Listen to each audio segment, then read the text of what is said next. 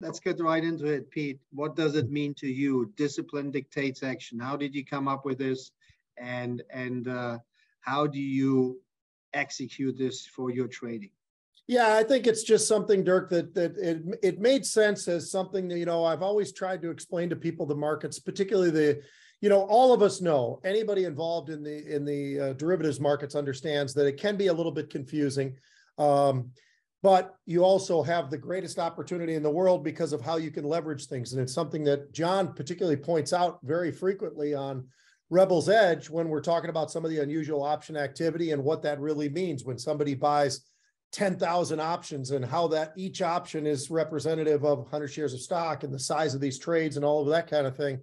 Um, but, you know, what I always try to go past uh, when I'm talking with people is you, it's great but you've got to have a game plan of some sort and that doesn't mean that can't get tweaked a little bit and, and, and to some degree changed but changed. But you really do have to have a game plan in place that you are have set goals where you're looking to to make the best out of the trade and it's going to have to take discipline because unfortunately the worst thing that can happen is to be right about something and not having the discipline to at least you know take some profits when they're there.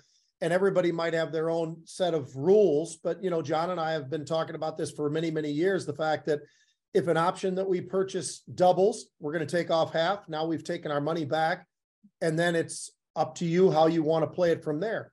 But that's just all part of it. There, there has to be an action that occurs as you're going through this process. And the more that you can do that and the more discipline that you can display. And we talk about this all the time. It's why uh, market rebellion has had such a great relationship i think with the special forces whether they're the seals or the rangers whomever.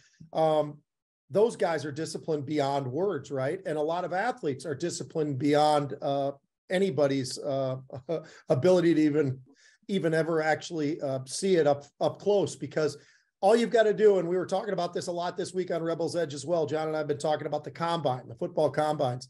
Um, you turn on that for just 30 minutes or so and give yourself an opportunity to watch some of the athletic moves that these guys are able to do and how are they able to do that it doesn't all just come naturally sure there's a heck of a lot of natural side effects that are there that that really do mean something but the reality is that um, you really honed everything about what you are to be the very best, greatest that you could possibly be, right? I mean, and that's what you've got to do, I think, each and every day when you're in these the, the markets, and you can't slip. You have to always have some form of discipline, whatever that might be. Um, that you're going to take that action throughout the day. And and you know what, Jon and I do this all the time and it's something that you know makes a heck of a lot of sense. The people that both of us use for execution in some some to some degree anyway are are guys that totally understand it. They know exactly what we want and how we want to be able to do things. And so we've all got this agreement together and how we're going to act. So that you know we're actually even